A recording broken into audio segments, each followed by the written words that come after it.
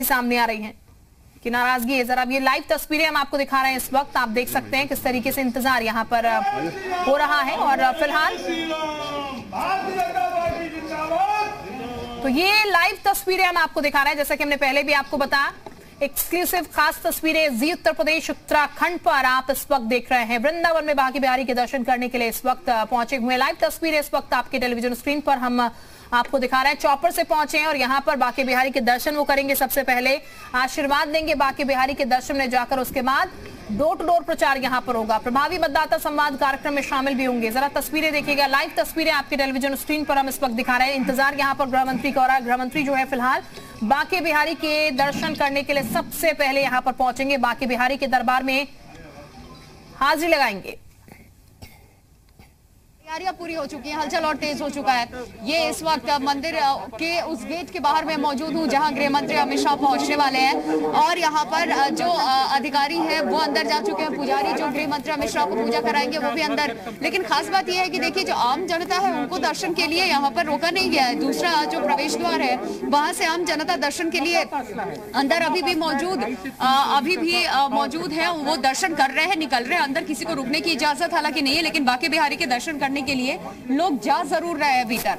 तो ये तस्वीरें मैं आपको इस वक्त दिखा रही हूँ। यहाँ से जहाँ पर गृह मंत्री अमित शाह पहुँचने वाले हैं और इसी रास्ते से गृह मंत्री अमित शाह जो है वो जाएँगे और देखिए यहाँ पर एक जो कुर्सी है वो भी डाली गई है गृह मंत्री के लिए। अमित शाह जब यहाँ आएँगे तो हो सकता है अगर वो मीडिया से मुखातिब होते हैं तो यहाँ पर बैठेंगे वो, उसकी तैयारी भी कर ली गई है। और दूसरा वो सीधे मंदिर की तरफ़ अंदर प्रवेश कर जाएँगे। अब जो पुलिस के आला अधिकारी है वो यहाँ पर पहुँचे हुए हैं। गेट जो है वो खोल दिया गया और एक्सक्लूसिव तस्वीरें जी हिंदुस्तान पर आपको दिखा रही हूँ। अमित शाह यहाँ पर पहुँच चुके हैं। अमित शाह यहाँ पहुँच चुके हैं एक्सक्लूसिव तस्वीरें मैं आपको दिखा रही हूँ। यही रही है एक्सक्लूसिव तस्वीरें इस वक्त मैं आपको दिखा रही हूँ, जो अमित शाह है, वो पहुँच रहे हैं। यहाँ पर जो सिक्योरिटी है, वो अलर्ट हो गया है और उसकी तस्वीरें मैं आपको दिखा रही हूँ। अमित शाह पहुँच चुके हैं। बाकी बिहारी मंदिर में प्रवेश कर गए गृह मंत्री अमित शाह। यहाँ पर बाके बिहारी मंदिर में अमित शाह जो है, वो अंदर, अब अंदर प्रवेश कर गए और यहाँ पर अमित शाह यहाँ पर नज़र आ रहे हैं और यहाँ राधे राधे के बाके बिहारी के जो नारे हैं, वो लग रहे हैं और उसकी तस्वीरें मैं आपको दिखा रही हूँ। उसकी तस्वीरें मैं आपको दिखा रही हूँ। अमित शाह, देखिए, राधे राधे का जो गले में गले में देखिए, ये यहाँ पर इन्होंने श्रीकांत शर्मा भी इनके साथ में मौजूद है। अमित शाह भी यहाँ पर बाकी बिहारी मंदिर पहुँच चुके हैं। पहुँच चुके हैं। अगर वो मीडिया से मुखातिब होंगे, क्योंकि अमित शाह यहाँ पर अंदर जा रहे हैं। अब अंदर जा रहे हैं और अंदर जाकर के पूजा अर्चना करेंगे। सीधे वो अंदर की तरफ़ गए। यहाँ पर श्रीकांत शर्मा भी मौजूद थे, ऊर्जा मंत्री, सिटिंग एमएलए। और वो अंदर की तरफ़, बीजेपी के तमाम, जो नेता है वो भी, और फिर वो सीधा अंदर प्रवेश कर गए, सीधा अंदर प्रवेश कर गए। अमित शाह यहाँ हालाँकि मीडिया से भी वो मुखातिब नहीं हुए। पहले वो अंदर गए, हो सकता है दर्शन करने के बाद, क्योंकि एग्जिट भी यहीं से करेंगे एग्जिट भी यहीं से करेंगे अमित शाह। अब अंदर किसी को भी प्रवेश नहीं करने दिया जा रहा है। जो आम जनता है, उसको भी रोक दिया गया है। अब अंदर किसी को भी प्रवेश की इजाज़त नहीं है। गृह मंत्री अमित शाह भी भीतर की तरफ़ जा चुके हैं। वो तस्वीर हमने आपको दिखाई है। अभी भी आपको नज़र आ रहा होगा। इसी गेट से गृह मंत्री अमित शाह गए हैं। पहले ही जो पुजारी थे, वो अंदर जा चुके थे और उसके बाद जो तमाम अधिकारी हैं, वो इस गेट पे मौजूद हैं। अंदर जाने की इजाज़त किसी को भी नहीं है। आम जनता जो थी, दूसरे रास्ते से वहाँ से अंदर गई थी, क्योंकि ये वीआईपी गेट है, जो आम द्वार है, वहाँ से वो दर्शन भी कर रही थी। बाकी बिहारी मंदिर में प्रवेश कर चुके हैं अमित शाह और वहाँ दर्शन कर रहे हैं। मैक्सिमम दस से पंद्रह मिनट का वक्त जो यहाँ पर वो बिताएँगे और उसके बाद वो अपनी जनसभा के लिए निकल जाएँगे। देखिए, अब इसीलिए बार बार मांग उठ रही है कि बाकी बिहारी मंदिर को भी यहाँ पर जिस तरीके से अयोध्या में भव्य राम मंदिर का निर्माण हुआ, काशी विश्वनाथ कॉरिडोर का निर्माण हुआ, अब मंदिरों का जीर्णोद्वार यहाँ भी होना चाहिए और इनकी खूबसूरती में चार चाँद लगनी चाहिए, क्योंकि यहाँ ऐसी तंग गलियों के बीच में ये बाकी बिहारी का मंदिर है और खास करके कुछ इस तरीके के चाहे हम बात कर ले फागुन के महीने की या उसके बाद जो कृष्ण जन्माष्टमी होती है ऐसी तस्वीरें हमें देखने को मिलती है। भीड़ बहुत ज़्यादा होती है और ऐसी गलियाँ तंग है कि लोगों को आने में भी घंटों घंटे लग जाते हैं। लाइन बाहर रोड तक लगी रहती है, जहाँ अमित शाह का काफिला रुका। अमित शाह को भी वहाँ से पैदल आना पड़ा। भीतर की तरफ़ कोई भी फोर व्हीलर नहीं आ सकता, प्रवेश नहीं कर सकता, क्योंकि इतनी चौड़ी गली नहीं है, सड़कें हैं ही नहीं। और इसी अब पश्चिमी उत्तर प्रदेश में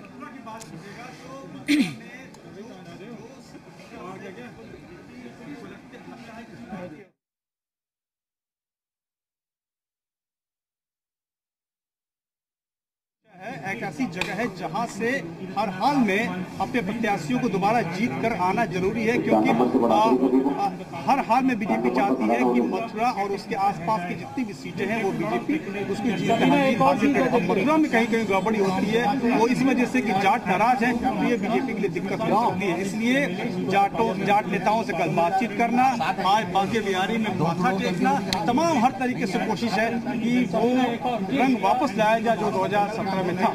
तो यहाँ मथुरा में भाई जी थोड़ा सा तो ये आप तस्वीरें इस वक्त लाइव देख रहे हैं सीधी तस्वीरें हम आपको दिखा रहे हैं। क्या कुछ चल रहा है? अभी बाके बिहारी के मंदिर में वो आप देख सकते हैं। अमित शाह जो है पूजा अर्चना करने के लिए फ़िलहाल यहाँ पर पहुँच चुके हैं प्रसाद और जो पूजा अर्चना का पूरा सिलसिला है वो शुरू हो चुका है यहाँ पर। तिलक उन्हें लग चुका है। बाके बिहारी मंदिर में जैसा कि तिलक लगाया जाता है और यहाँ पर ये देखिएगा उन्हें आशीर्वाद स्वरूप चादर भी चढ़ाई चढ़ाई जा रही है और बाके बिहारी के दरबार पे उनकी हाजिरी लग रही है और मन में निश्चित तौर पर जीत की कामना जो है वो फ़िलहाल यहाँ पर तमाम नेताओं के मन में है। खास ये तस्वीरें हैं और ये ताज़ा तस्वीरें अभी जो कुछ चल रहा है उसकी तस्वीरें। कन्हैया हमारे साथ इस वक्त ज्या- ज़्यादा जानकारी के साथ जुड़ चुके हैं। कन्हैया, तस्वीरें हम लगातार दिखा रहे हैं यहाँ पर पूजा अर्चना की। अभी कितनी देर यहाँ पर रुकने का कार्यक्रम अमित शाह का कितनी देर पूजा में और देखिए आपको बता दें कि कार्यक्रम से अमित शाह थोड़ा लेट है, इसलिए कार्यक्रम बहुत जल्दी का रहेगा, क्योंकि लगातार एक के बाद एक कार्यक्रम लगे हुए हैं, यहाँ पर मतदाताओं से मुलाकात करेंगे, लेकिन पहले बाकी बिहारी की विधिवत तौर पर पूजा अर्चना करेंगे अमित शाह इसके लिए खास तौर पर तैयारियाँ की गई हैं। सामान प्रसादी मंगाई गई है, सभी का यहाँ पर फूल, पुष्प इत्र ये सब मंगाया गया है तो काफ़ी महत्वपूर्ण है, और पूजा करीब दस से पंद्रह मिनट की बताई जा रही है तो दस से पंद्रह मिनट तक लगातार पूजा रहेगी, करीब चार से पाँच ब्राह्मण हैं जो पूजा में भाग लेंगे और लगातार अ, मंत्रोच्चारण के बीच में ये पूजा का कार्यक्रम रहेगा तो काफ़ी महत्वपूर्ण ये पूजा भी मानी जा रही है और यहाँ से विजयश्री का आशीर्वाद शाह लेंगे जिसके बाद स्थिति साफ़ होगी। अभी पूजा अर्चना का कार्यक्रम चल रहा है लेकिन अब बहुत जल्दी यहाँ से अ, शाह निकलेंगे बहुत कम समय यहाँ पर रहेगा। बिल्कुल कन्हैया जो तस्वीरें हम अभी दर्शकों को दिखा रहे हैं हम देख पा रहे हैं पूजा अर्चना चल रही है जैसा कि आप भी बता रहे हैं कि अभी पंद्रह मिनट तकरीबन यहाँ पर लगेगा। लेकिन ये कहा जाए यहाँ पर कि जाटलैंड को साधने की कोशिश भी अमित शाह की यहाँ पर है और जो बड़े दिग्गज नेता हैं, अब वो ज़मीन पर उतर चुके हैं क्योंकि अब पता है यहाँ पर हर एक पार्टी को कि ज़्यादा समय नहीं बचा है चुनाव में तो इसलिए अब पूरी तरीके से मैदान में खुलकर आ चुके हैं।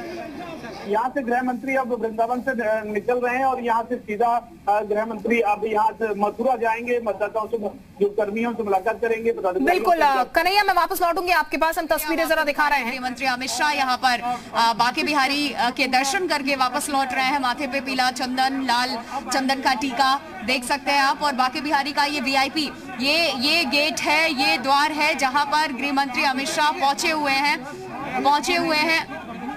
और यहाँ यहाँ बीच में आप देखिए किस तरीके से लोगों से भी घिरे हुए हैं गृह मंत्री अमित शाह।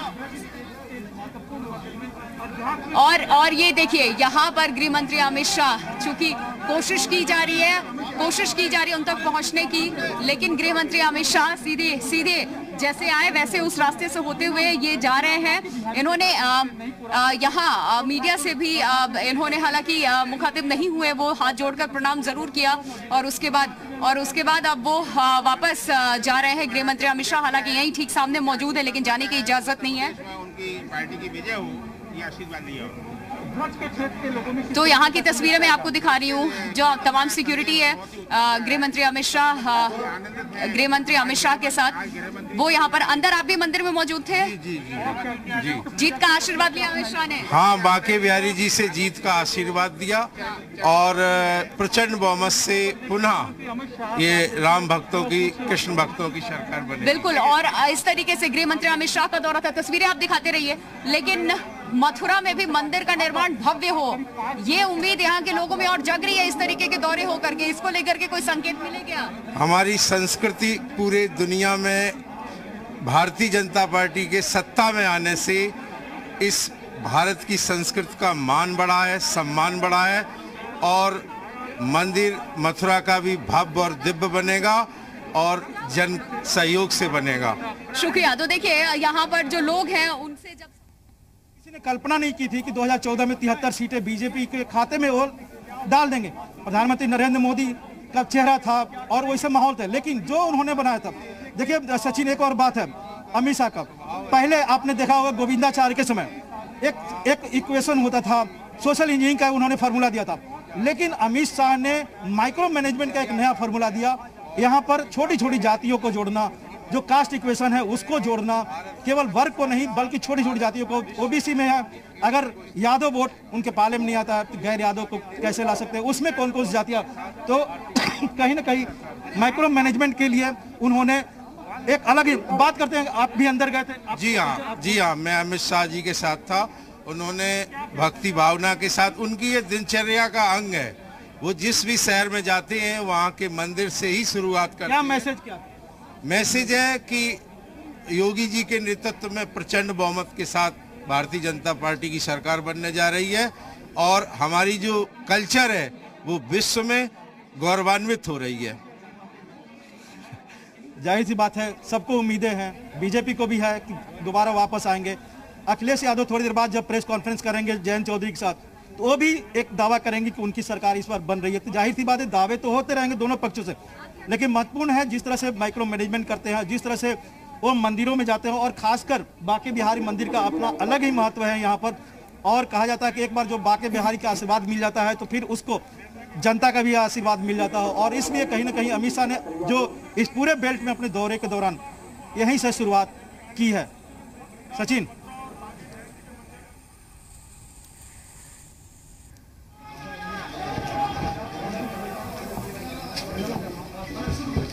तो ये हम तस्वीरें आपको इस वक्त लाइव दिखा रहे हैं। बाकी बिहारी मंदिर से तस्वीरें हैं। पूजा अर्चना यहाँ पर अमित शाह ने की है। आशीर्वाद दिया है, जीत का आशीर्वाद दिया है। जो पुजारी उनके साथ मौजूद थे, वो बता रहे हैं कि जीत का आशीर्वाद यहाँ पर से अमित शाह ने लिया है। और ये हम आपको बता दें, खास विशेष तैयारी सुरक्षा को लेकर यहाँ पर है। हालाँकि अभी किसी भी तरीके का बयान उनकी तरफ़ से सामने निकल के नहीं आया, यानी कि मीडिया से मुखातिब नहीं हुए।